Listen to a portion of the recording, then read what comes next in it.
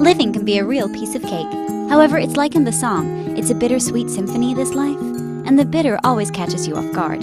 What if you could be one step ahead? Keep the ones you love closer to you. We present you.